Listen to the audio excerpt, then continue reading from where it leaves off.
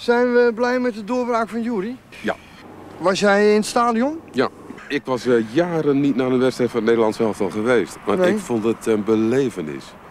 Vooral ook in het stadion. Fantastisch. Ja? Ja, dat is dus verbouwd, het Feyenoordstadion. Ja, maar ze is- hebben niks verkeerd gedaan.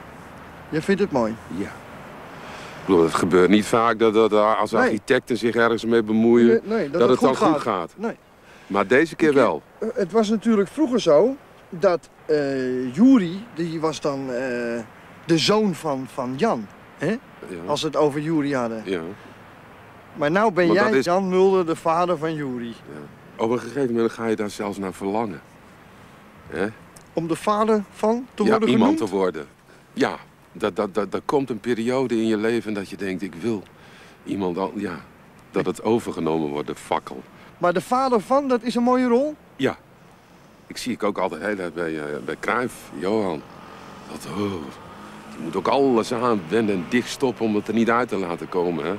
Zijn grote liefde. Ah, vind ik leuk om te zien.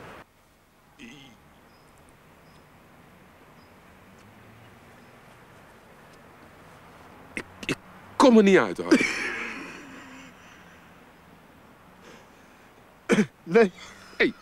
Ik kom er niet uit. Het is, Het is een ontzettend een moeilijke keuze. Ja, het is een close call, maar je Ja. moet een keuze maken. Ja. Je moet een keuze maken. Nou, zeg het maar.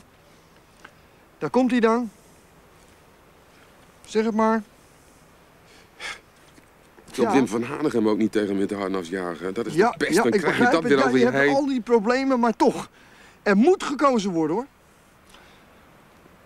Anderlecht mag niet zeggen. Nee, Ajax!